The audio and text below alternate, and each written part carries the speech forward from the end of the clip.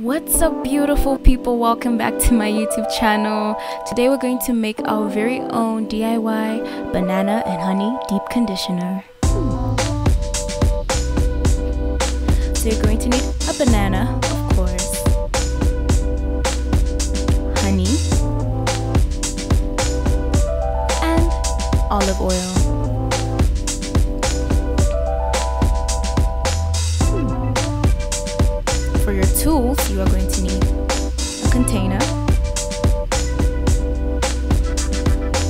A bowl with a fork and a tablespoon,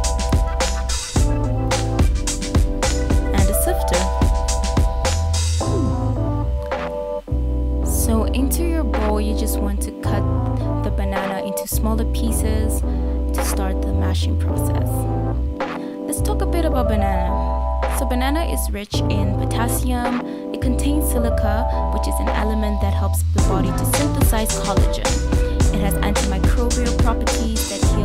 flaky and dry scalp, relieving dandruff. And it's rich overall in carbohydrates and it helps condition your hair follicles. So, you just want to mash away, just like you would when you're making banana bread, you know? Mash, mash, mash away. So if you happen to have long uh, hair, you might want to double the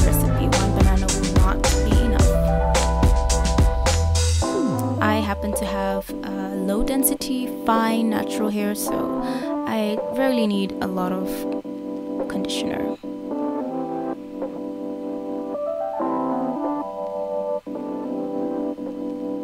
And this is how it should look like.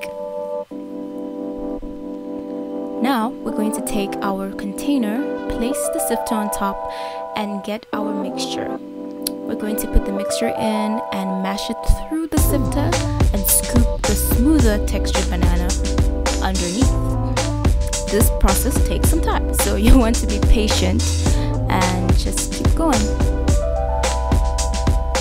The reason why I am doing this is because in the past I have done this recipe and I always find pieces of banana left in my hair. So this is really helpful, trust me. This gets rid of all the lumps and ensures that when you rinse your hair, you actually rinse all of it out.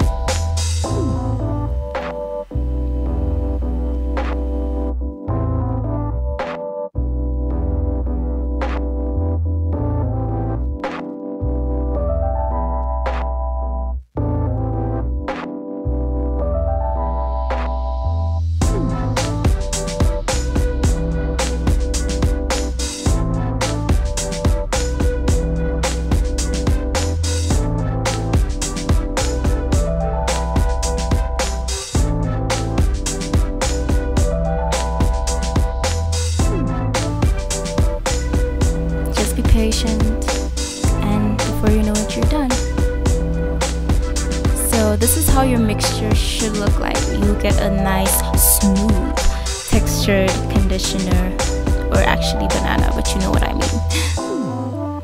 Just look at that.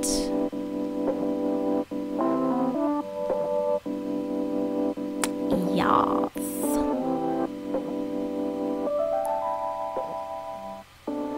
in comparison to the other one which mm, no comment on how it looks like but do not throw it away. I'm gonna use these to make some banana muffins. So back to our container we're gonna add two tablespoons of our honey. Honey is a natural humectant meaning that it attracts moisture from the atmosphere to your hair. How cool is that? It's also an emollient which helps with uh, softening the hair follicles. And then we're to add olive oil to our mixture. I just used one tablespoon and it's also a great conditioner for your hair. Leave this on your hair for 30 minutes to an hour under a shower cap and then wash off. Now, if you want to be extra like me, okay, you're going to add 3 tablespoons of hair mayonnaise. I just do this for more protein as my hair is high porosity, so it tends to need a bit more protein. But this is optional, you do not have to do this step. You could also add a cheap conditioner at this point, just to, you know, enhance the cheap conditioner and just so you don't waste the cheap conditioner you haven't used. And you're done. And as I mentioned before, do not waste that banana. I went ahead and baked some beautiful banana muffins and it tasted oh so yummy. Thank you so much for watching you guys. Don't forget to subscribe, like, press that notification bell and share it with somebody, anybody. Come on, let's grow together. Bye.